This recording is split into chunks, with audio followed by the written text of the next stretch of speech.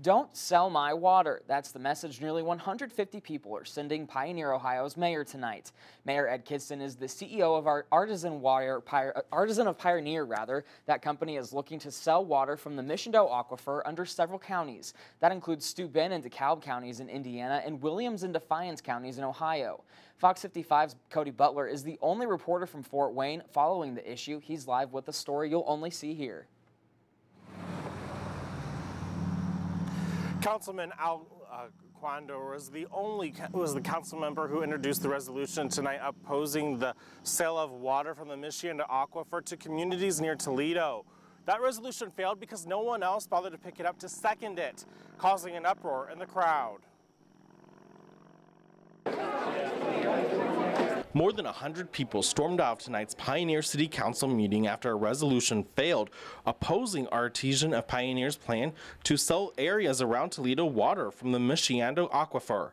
Ed Kidston is the CEO of AOP and Pioneer's mayor. You know, everybody needs water. Everybody, you know, water's a precious resource. Alquander is the only council member who voted to introduce the resolution. He also asked Kidston to resign his position as mayor. I just feel kind of let down by communities near Toledo are looking for a new water source after having several issues with the algae on Lake Erie. Kidston says it's not a done deal and fact tests are still needed to see if it will work. You have to prove that we have control of the land underneath where we're going to be drawing from.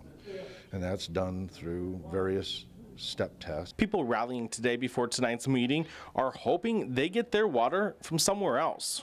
Hope that we can get it resolved and stop it. We aren't, if this doesn't work for him, we're not going to quit. We're going to keep right on. His company makes filters, they make pumps. Why not clean up Lake Erie? Help them clean up their own source of water. They are worried their wells could dry up if thousands of gallons of water are piped to areas like Sylvania and Perrysburg. And the water should not be sold for one man's profit if it hurts the rest of the area.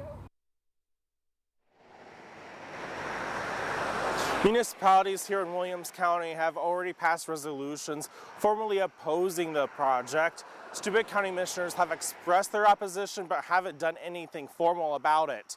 Live in Pioneer, Ohio, Cody Butler, Fox 55 News.